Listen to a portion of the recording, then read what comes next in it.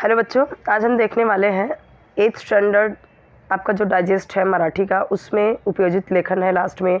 जितने भी आपके ग्रामर के जितने भी राइटिंग स्किल है सब है। तो कमेंट्स आ रहे थे बार मराठी का पत्र लेखन और बाकी चीज़ें जितनी भी हैं राइटिंग स्किल के लिए। तो जैसे इंग्लिश का है हिंदी का है उसी तरीके से यहाँ पर भी है।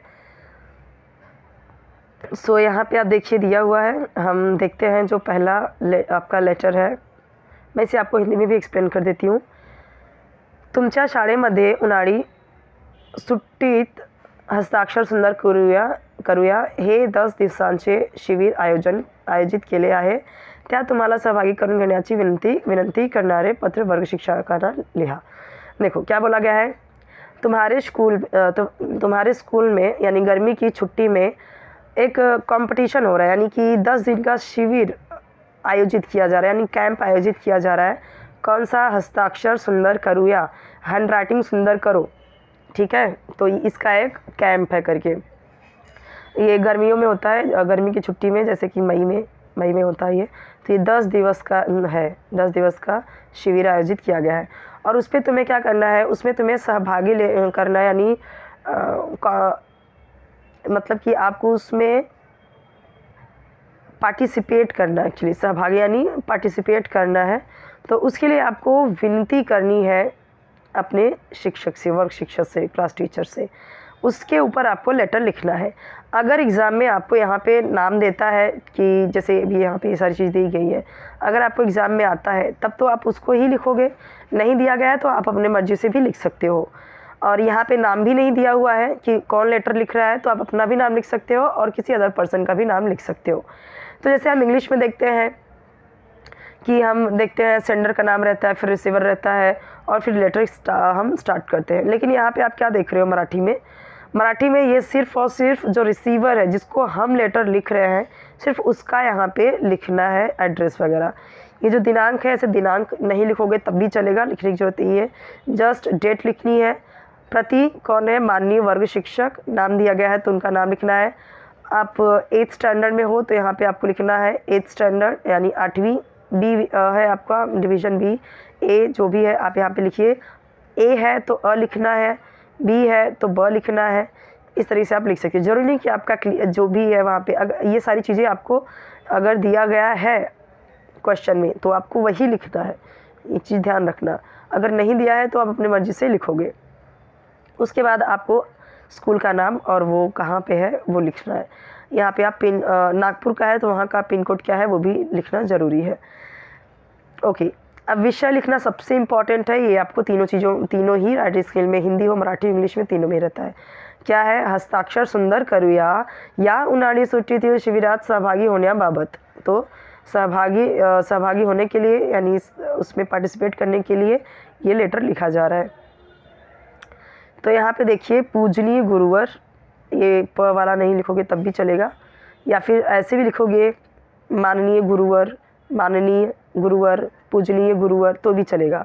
सादर नमस्कार। अब ये देखिए, ये औपचारिक लेटर है, ठीक है? यानी फॉर्मल है। तो इसमें आपको हाय, हेलो ऐसे नहीं करना आपको नमस्कार, नमस्ते करना है मतलब विद रिस्पेक्ट, क्योंकि वो टीचर है तो हमें पता है कि हम एक जैसे अपने फ्रेंड्स को लिखते हैं, अपने रिश्तेदार को लिखते हैं, वैसे नहीं लिखना है। ये मैं आपको समझा देती हूँ। उन्हाळी सुट्टीतील शिबिराची माहिती शाळेच्या मुख्य सूचना फलकावर लिहिली होती। तो गर्मियों की छुट्टी में शिविर होने जा रहा है। ये स्कूल की सूचना फलक पे लिखा गया था। क्या लिखा गया था? हस्ताक्षर सुंदर करो और इस शिविर में मेरा सहभागी होना मेरी इच्छा है। मतलब मैं उसमें पार्टिसिपेट करने की मेरी इच्छा है, इसीलिए मैं ये पत्र लिख रहा हूँ या लिख रही हूँ। लड़की है तो लड़की यहाँ पे तो भी चलेगा, ठीक है? अब यहाँ पे देखो, आपली नम्र विद्यार्थी, आपली यानी कि ये लड़की है तो ये लड़की के हिसाब से लिखा गया है।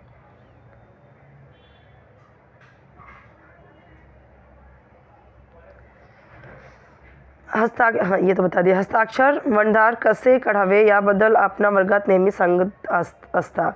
हस्ताक्षर को, यानी हैंडराइटिंग को अच्छा कैसे बनाए ये हमारे स्कूल में बता बता चुके हैं, हमें बताते हैं। और निबंध के, जो निबंध का बुक है, उसमें हस्ताक्षर संबंधी, यानी हैंडराइटिंग संबंधी साइन भी दिया हुआ है, ठीक है? यानी कि कैसा हैंड राइटिंग है, अच्छी है, बुरी है, वहाँ पे निबंध वाला बुक में हमें, हमारे मतलब हमारे क्लास में बताया भी गया है कैसे हम हैंड राइटिंग अच्छी करें और उसके बारे में हमें जो निबंध है उसमें अच्छे से में साइन भी किया गया है कि क्या सही है, क्या गलत है। सो तुमच्यामुळे हस्ताक्षर हस्ताक्षराबाबत मी काटे कोर्स झाले आहे। तो यहाँ पे वही बोला गया कि हस्ताक्षर हैंड राइटिंग मतलब मुझे, मेरा भी अच्छा हुआ है, मेरी भी हैंड राइटिंग अच्छी है, और हस्ताक्षर सुंदर करूँ या इसमें ये जो दस दिवस का ये शिविर है, ये सुन के, इसके बारे में जान के, पढ़ के मुझे बहुत खुशी हुई। गर्मियों की छुट्टी में हैंड राइटिंग वाली जो ये शिविर है, उसमें वो मेरे लिए पक्का मेरे यूज़ में आएगा, मेरे उपयोग में आएगा, ऐसा मुझे लगता है। और शिविर में सिखाए जाने वाले जो तंत्र, यानी जो टेक्निक है, जो शिविर में सिखाया जाए कि हैंड राइटिंग कैसे लिखो, अच्छी लिखो, क्या रॉन्ग है, क्या राइट है, कैसे लिखना है तो ये जो तंत्र है, ये जो टेक्निक है, मुझे उत्तर पत्रिका में, यानी मेरे एग्ज़ाम में लिखने में मुझे यूज़ आएगा, ठीक है? मैं वो यूज़ कर पाऊँगा। माझिया गुणात, और मेरे जो मार्क्स है, वो पक्का बढ़ जाएँगे। और ऐसे शिविर स्कूल के जो ऐसे शिविर होते हैं, ये ऐसे व्यर्थ नहीं जाएँगे, वो मेरे लिए बहुत अच्छा होगा। हस्ताक्षर चाचणी घेऊन माझी निवड करावी ही विनंती. तो हस्ताक्षर, यानी ये हस्ताक्षर, यानी कि हैंड राइटिंग वाला ये जो कैंप हो रहा है, इसमें मेरा भी तो मेरा भी एडमिशन कराइए, ये मेरी आपसे विनती है, यानी मेरा भी नाम लिखिए। और इससे क्या होगा, मेरा जो पर्सनालिटी डेवलपमेंट है, यानी व्यक्तित्व मत, यानी जो व्यक्तित्व है, मेरा उसका विकास होगा। और इससे मेरा जो गर्मियों की छुट्टी है, उसका सदुपयोग भी अच्छा हो जाएगा, मेरा सदुपयोग भी हो जाएगा, यानी अच्छा यूज़ हो जाएगा, ऐसी मेरी इच्छा है।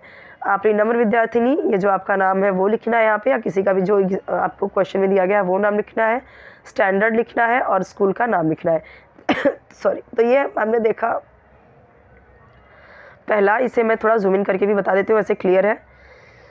तो वीडियो आपको हाई रेजोल्यूशन पे देखना है, मैं बार बार एक ही चीज़ बोलती हूँ तो ये आपको ध्यान देना है, वीडियो हाई रेजोल्यूशन पे देखना है आपको, ठीक है? तो आपको वीडियो क्लियर दिखेगा अदरवाइज़ वीडियो ब्लर दिखेगा।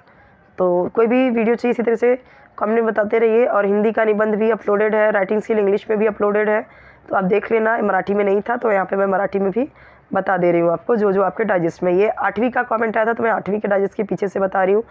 तो जैसे जैसे मुझे कमेंट्स आता जाएगा, मैं बताते जाऊँगी, ठीक है?